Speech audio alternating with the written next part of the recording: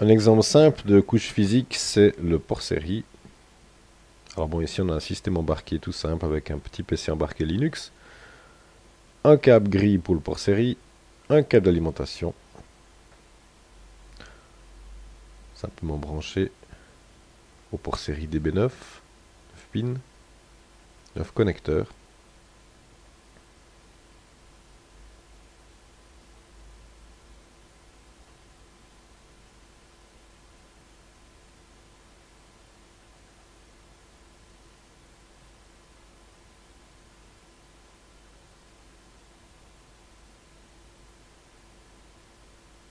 Si on a la chance sur son laptop d'avoir un port série, ce qui n'est plus tellement le cas aujourd'hui, on branche directement.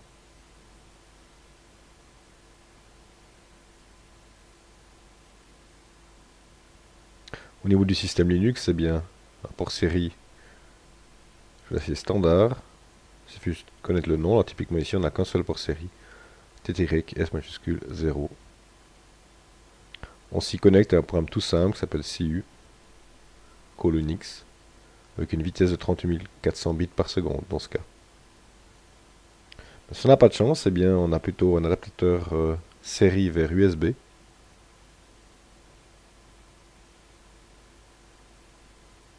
On peut regarder le log system. Avec tel-f, on voit les changements. Il s'est déjà passé des choses avant, mais on oublie. Maintenant, on branche l'adaptateur USB qui va être détecté automatiquement. Et entre autres, on voit bah, que son nombre de périphériques sera USB majuscule 0.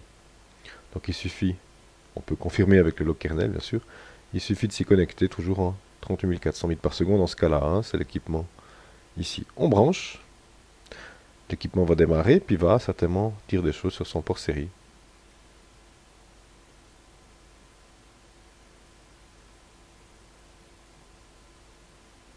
Alors on voit ici que l'équipement est en train de démarrer, contrôler sa mémoire, contrôler le réseau qui n'est pas branché, carte réseau n'est pas branché, et démarrer depuis une carte flash. Ça ressemble beaucoup au démarrage d'un Linux classique, mais il n'y a pas de VGA sur cet appareil, pas de graphisme, il n'y a que le port série. Alors une sonde, euh, ici avec un facteur 10, pour voir un peu ces signaux du port série sur un oscilloscope. On brancher simplement la sonde.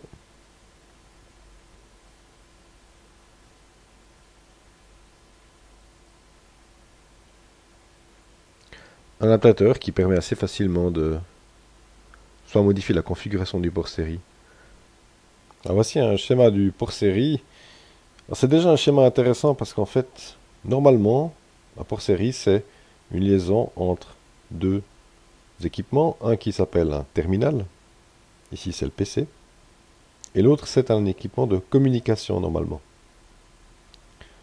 Alors, typiquement, il y a plein de lignes qui sont identiques des deux côtés. Comme la masse, par exemple. Mais, quand le PC transmet sur euh, certaines lignes, parmi transmet sur la ligne TX, qui est ici le pin 3, si en face de lui, il y a un équipement de communication, eh bien, il va recevoir sur sa ligne 3. Donc, en fait, pour un équipement de communication, la ligne 3, c'est RX. Alors que pour un PC, la ligne 3, c'est TX. Dans notre cas ici qui nous occupe, on a un câble un peu spécial, qui est un câble croisé. Parce que finalement, la LIX, hein, le système embarqué, et le PC sont deux PC, sont deux qu'on appelle DTE, Data Terminal Equipment. Donc en fait, pour que ça puisse fonctionner, il faut croiser certaines lignes. Alors nous, ce qui nous intéresse ici, c'est relativement simple. On a besoin simplement de TX, qui viendrait de notre Alix. Et puis, on a besoin d'une masse de référence. C'est tout. Après, aussi, il y a beaucoup d'autres signaux qui sont utiles pour la communication, euh, par exemple avec un modem, pour savoir si l'équipement est prêt, s'il y a une, communication qui a été ouverte, etc., euh, etc. Mais ça, ça ne nous intéresse pas ici. Donc en fait, ce qui nous intéresse, c'est vraiment la ligne TX et puis la ligne de masse. On va brancher la ligne de masse à la masse de la sonde.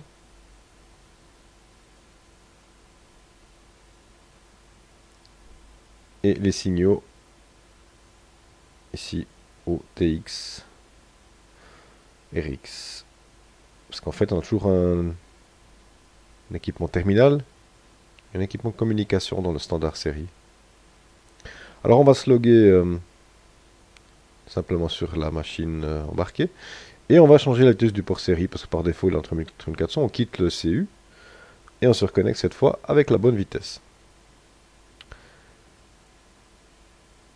Ce qu'on peut aussi faire maintenant c'est afficher assez régulièrement les lettres majuscules A, B, C sans retour de la ligne. On attend une seconde et puis ensuite on, réaffiche. On voit ce qui se passe euh, sur le port série. Et c'est ça qu'on va essayer de capturer sur notre oscilloscope.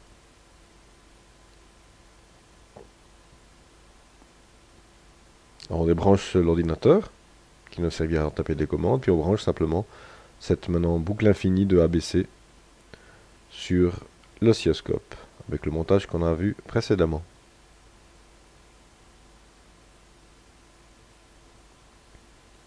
Alors l'oscilloscope, euh, simplement on a mis en mode trigger, alors on peut trigger en haut, en bas, etc. Ça c'est égal. Et on a un joli signal. Il n'y a rien avant, il n'y a rien après, parce qu'en fait, euh, on a fait un slip. Et là, vous avez les trois caractères qui sont envoyés à la suite.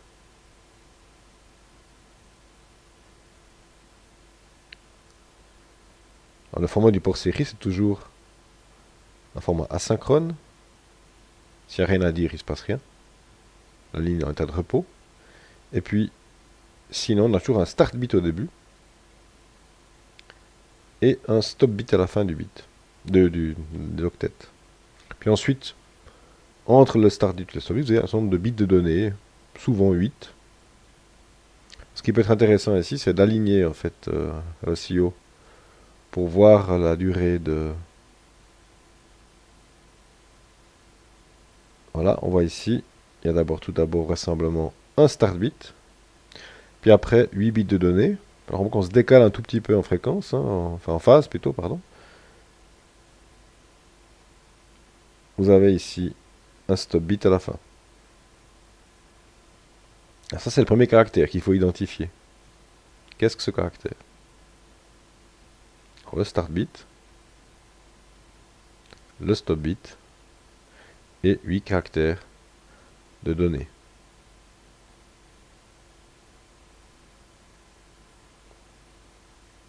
Alors bien sûr, il y a d'autres caractères qui suivent. Hein. C'est identifier quels caractères suivent. Bon, ici on a vu, hein, c'était A, celui de B, celui de C, hein, en majuscule.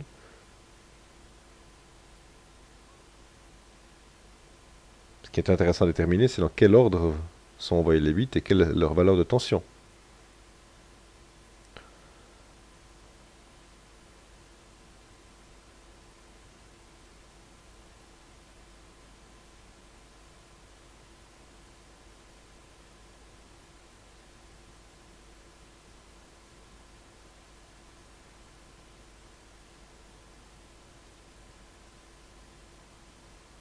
Et bien sûr, quand on arrive au dernier stop bit, après, s'il n'y a plus rien à dire, eh la ligne reste en état d'arrêt.